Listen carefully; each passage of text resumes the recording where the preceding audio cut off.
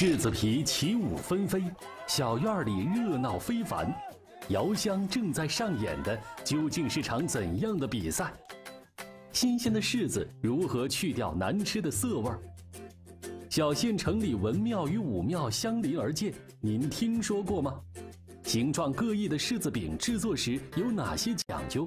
爆下来的柿子皮怎么就成了宝贝？柿子酒又是如何制作出来的？让工程人百喝不厌，用锤子打出来的爽人汤究竟是什么？瑶族同胞家做客，当地的传统美食花样多。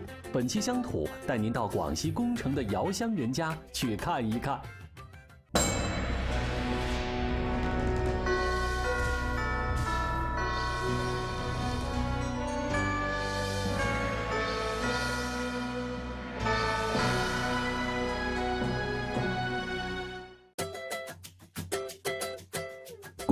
瑶族自治县位于广西壮族自治区的东北部，桂林市的东南部。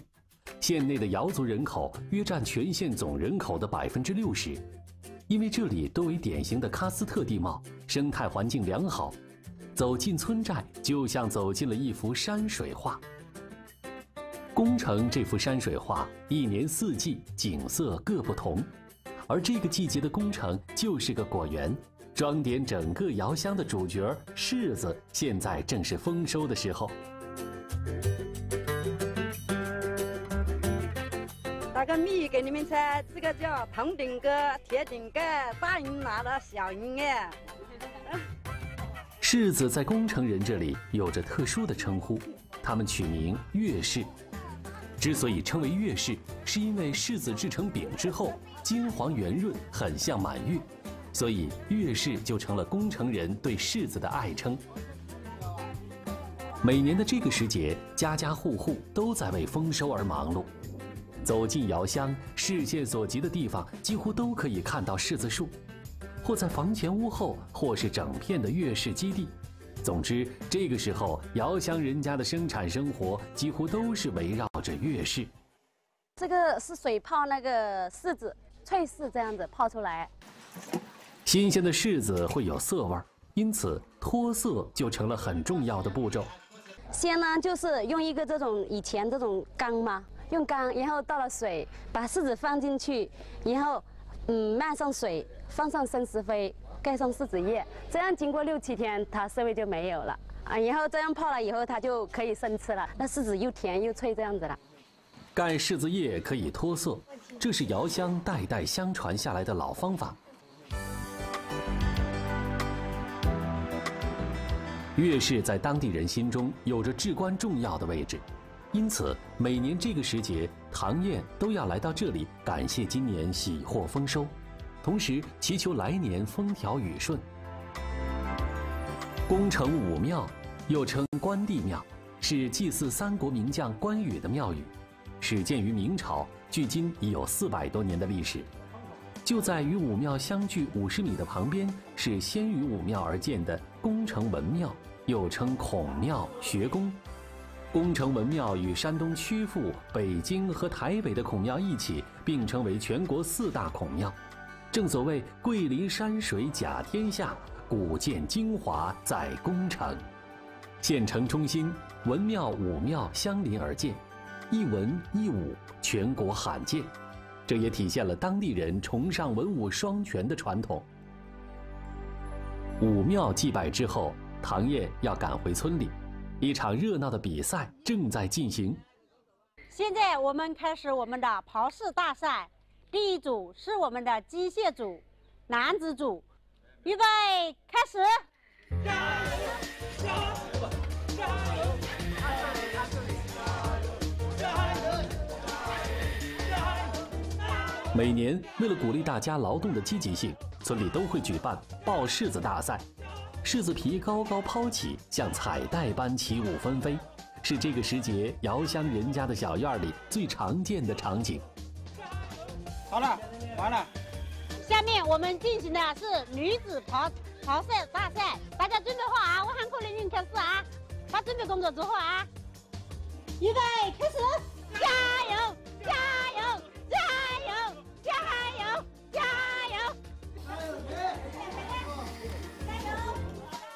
由于柿子皮的口感欠佳，因此爆柿子是制作柿饼之前最重要的步骤之一，也是当地人必备的重要技能。全部爆完，这个爆的非常好。这个就就就可以了，这个可以了，第一名。过去都是手工爆柿子，后来聪明智慧的瑶族同胞发明了这样半自动或者全自动的机器，大大提高了生产效率。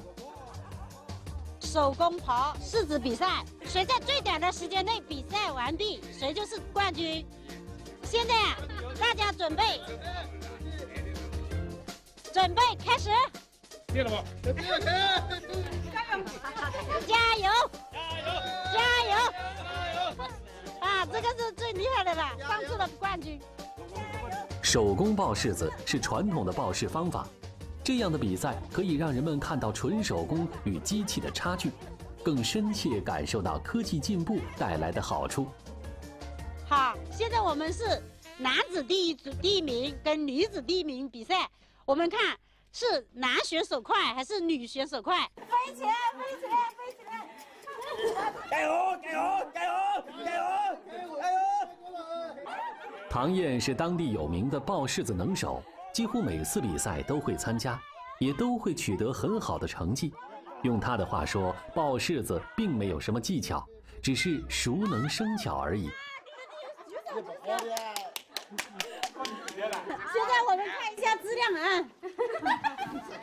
我们女选手说这个比较好，但是我们从专业的眼光来看呢，我们觉得男子组的比较光滑，比较好一点。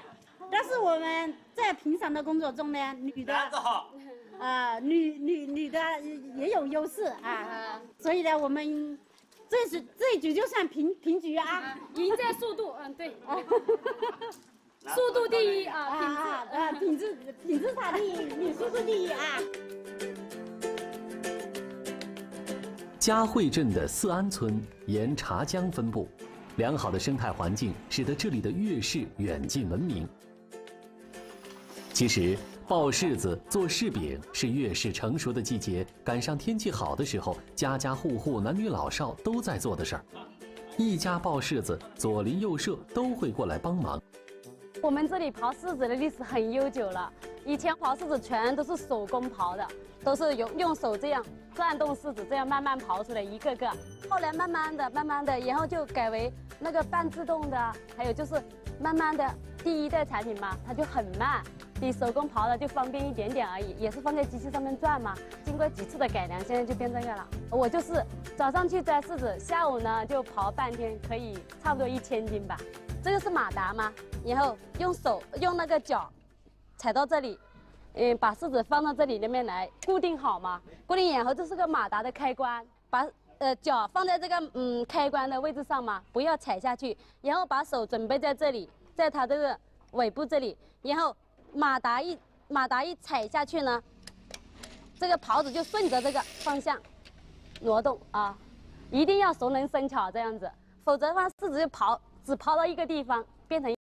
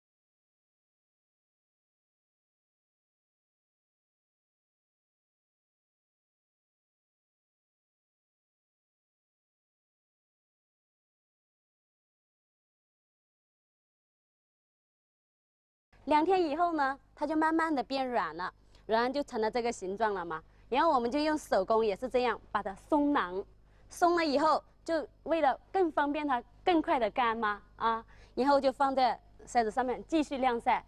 再过几天，两天以后呢，它就变成这个样子了，很软了，已经水分很少了嘛，慢慢的是糖质什么的在里面了，然后就涩味也去掉了，慢慢的、慢慢的，我们就把它整形了嘛。最后呢，再过两天呢，它就慢慢的变成这个，水分很少了，都剩下糖分了就成柿饼了，这样都可以吃了。松身、捏形、反复晾晒，是鲜柿子变身柿饼的必经过程。在工程，柿饼也有多种不同的模样。铜钱边呢，就是把它整成像铜钱一样，这样把里面的肉呢全部碾到外面来，你看像一个铜钱一样了吧？有的呢就可以做成辣椒饼啊，辣椒饼呢它就是个子小一点那种，这样把它碾起来，就这样圆圆的，这样像个红辣椒一样的。这样子，还有可以做成很多像那玫瑰饼啊什么的，还有的可以做成糖饼，就是圆圆的，北方人比较爱吃的。再的晚一点的，它糖分比较多的那种，哎，颜色很红的那种，就是成熟度上糖了很多的，霜降以后做的饼子。悉心的看护，勤快的翻晒，还要盼着每一个艳阳天。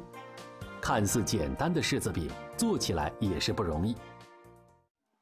剥下来的又硬又涩的柿子皮，并非一无是处，反而被派上了大用场。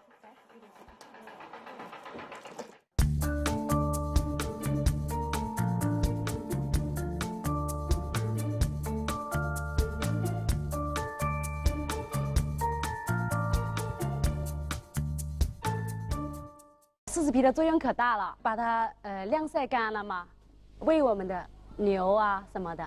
猪啊都可以，牛特别喜欢吃，它还有很多营养成分嘛。如果是没有这些，都还可以放沼气池，产生沼气做饭什么节约能源，它作用挺大的。柿子全身都是宝，你看柿子，柿子的叶子可以做药材，然后柿子做柿子饼酒啊，泡柿子啊，做脆柿啊，还有柿子的皮也可以喂牛啊，进沼气啊，是吧？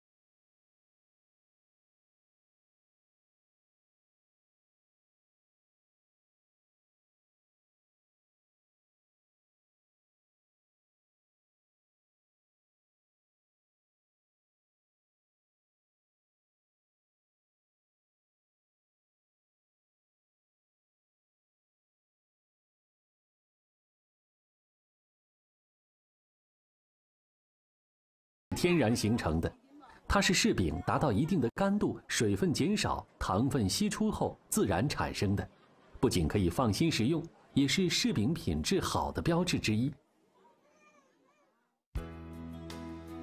每年秋冬季节，遥香漫山遍野的柿子等待着人们采收，摘下的柿子除了鲜食之外，剩下的都被制作成了柿饼。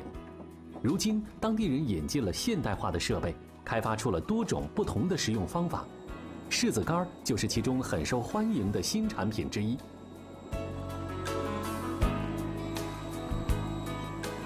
越柿的丰收给当地人带来了希望，现代化的加工生产提高了效率，拓宽了销路，产业的兴旺使得遥乡人家的生活越来越富足。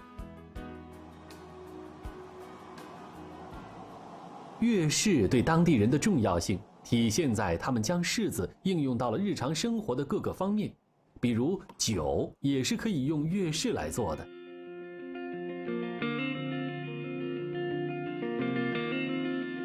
以前呀都是酿的，就是用那个成熟的那个柿子嘛，然后就经过呃酿酒的过程嘛，呃像传统的像酿米酒这样子，也是那种工序嘛啊，然后就发酵以后酿成柿子酒。啊，现在我们都是拿柿子饼来泡酒的多了，自己家酿好的米酒嘛，晒好呃八成呃好的那个柿饼，拿那个柿饼来泡酒这样子。像这个柿子酒不要泡很长时间，可能十天半个月就可以出味了。时间泡的越长呢，那味道就越浓。一般我们都是当年的，就是以后呃那个呃柿子嗯到了十一月份那种酿的那个晒制出来的那个柿子饼嘛，它糖分比较重，质量比较好，就那那样的柿子来泡酒。到瑶族人家做客，有一种味道是一定会遇见的。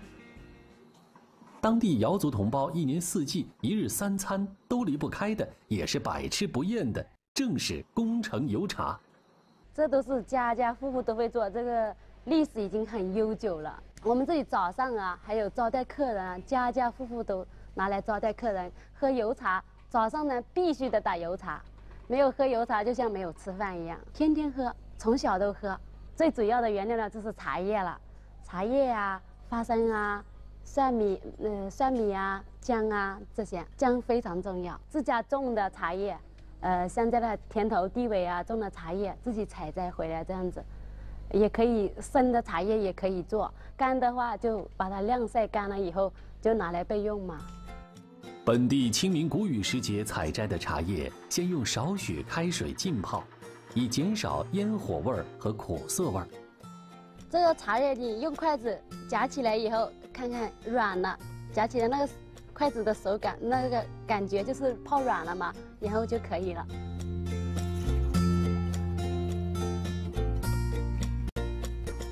在茶锅里加入猪油，放入姜、蒜、花生和茶叶。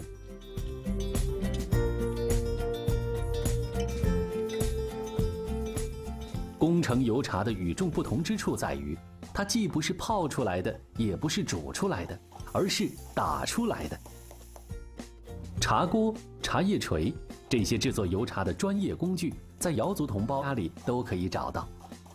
洗茶、打茶、滤茶是瑶族同胞每天都要做的事儿。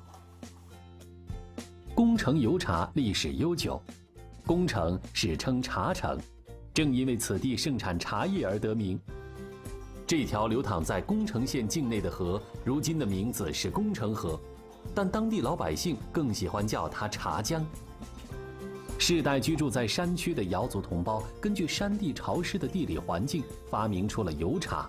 姜、蒜、茶的组合可以驱除湿寒，补充能量。油茶常在饭前使用，吃的时候讲究也是很多。为了感谢左邻右舍农忙时节的帮助。唐燕决定准备一桌传统的瑶族美食款待大家。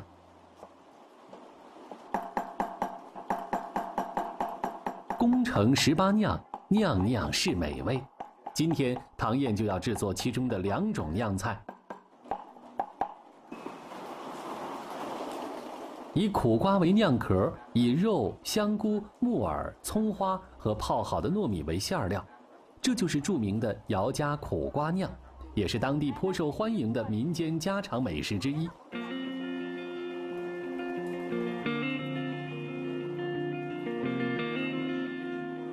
下来的这道酿菜就稍有难度了。将水豆腐切分成长方形的小块，用弯起来的竹篾挖掉豆腐块中间的部分，这是制作豆腐酿的关键一步。放入馅料、肉和葱花。再将之前挖出来的豆腐碾碎，盖回去。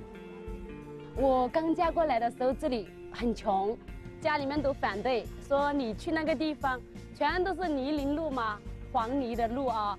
那时候都是单车嘛，我们这里都是人骑在单车上面，那里都是下雨天都是单车骑人，走不了嘛。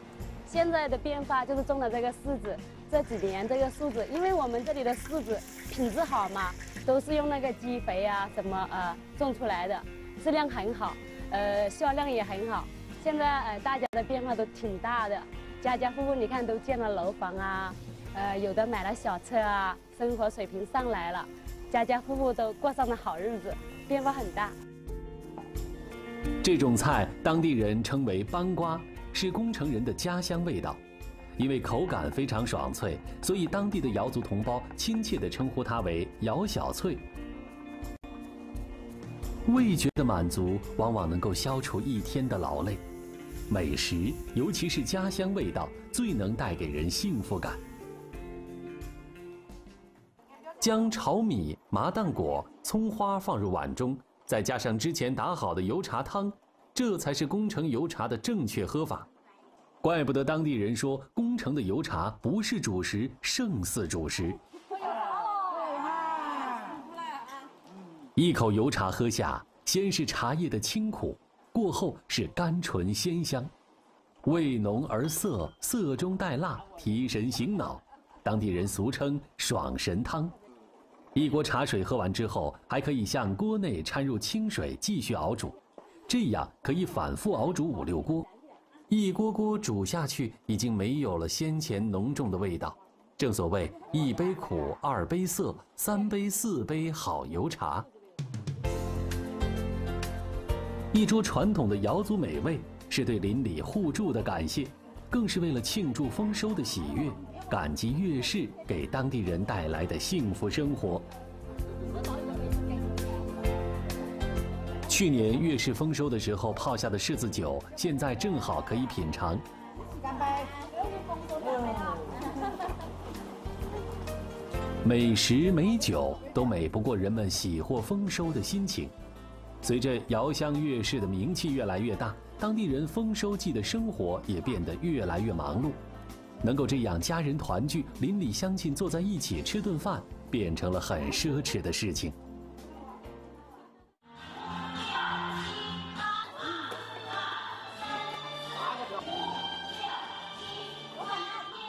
一九九零年，国家撤销宫城县，正式设立宫城瑶族自治县。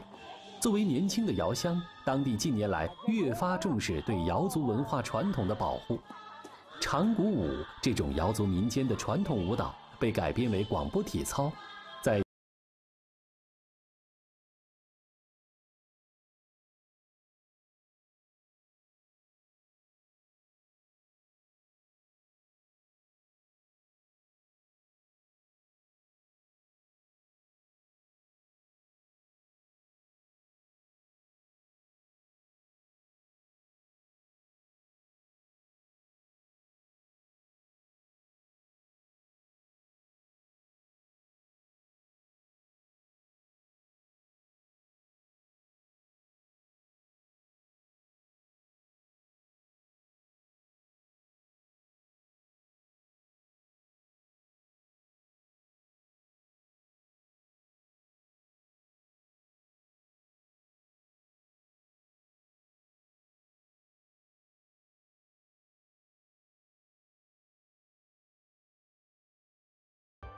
产业的兴旺，休闲农业的发展，定会让乡亲们的日子更加红火而甜蜜。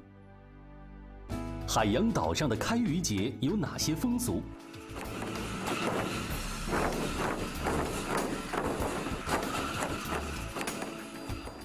海洋岛上的渔民早餐吃什么？这个我们岛上啊有个习惯，早晨一般的都吃海鲜。海参、海胆、海螺、鲍鱼、扇贝是怎样从海里捕捞上来的？准备潜水捕捞海海产品。用烧柴火的大铁锅烀鲍鱼、海胆、海螺、扇贝，什么味道？哇，好炫啊！下期乡土带您去大连的海洋岛，看开渔节后渔民的生活上集。